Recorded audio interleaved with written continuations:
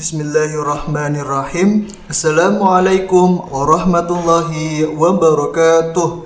Halo adik-adik semuanya Apa kabar kalian hari ini? Semoga senantiasa sehat dan tetap semangat dalam belajar membaca Al-Quran ya. Bila sebelumnya kita belajar hukum bacaan mim sukun yaitu idgham mimi dan ikhfa syafawi maka sekarang kita akan belajar bersama hukum bacaan mim sukun yaitu izhar syafawi.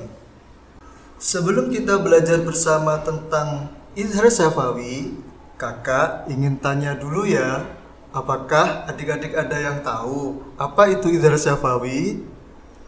Untuk lebih jelasnya, simak terus video ini sampai selesai ya.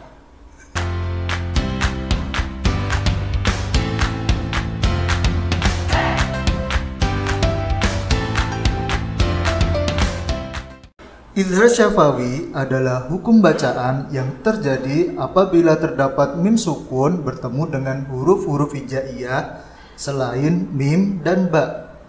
Cara membaca izhar syafawi adalah bacaannya dibaca jelas tanpa dengung.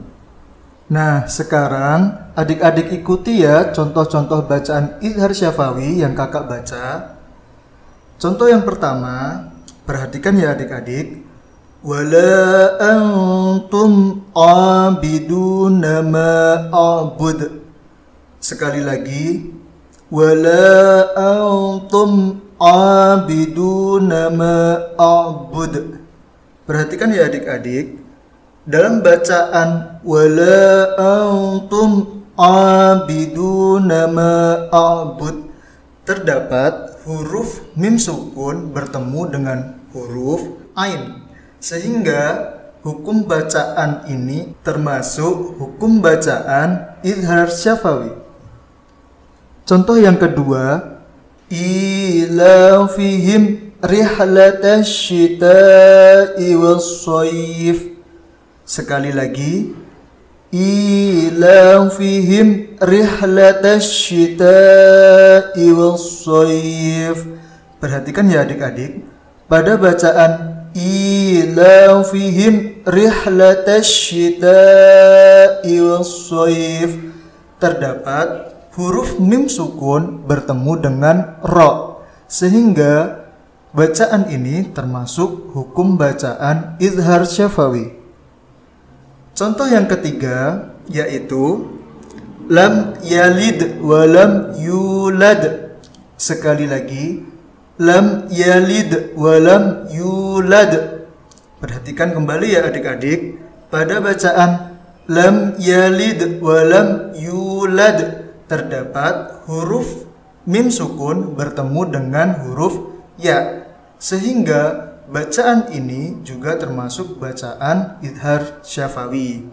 Jadi diingat-ingat ya adik-adik selama ada mim sukun bertemu dengan huruf selain mim dan ba, maka bacaan tersebut termasuk ke dalam hukum bacaan izhar syafawi. Dan bacaannya dibaca jelas ya adik-adik, jangan menggunakan dengung. Sudah jelas ya adik-adik? Setelah kita belajar bersama hukum bacaan izhar syafawi, Adik-adik pasti sudah bisa kan membaca bacaan Izhar Syafawi? Sekian untuk pertemuan kali ini dan sampai jumpa di pertemuan selanjutnya ya adik-adik. Simak terus videonya dan jangan lupa dukung kami dengan cara like, share, komen, dan subscribe ya. Wassalamualaikum warahmatullahi wabarakatuh.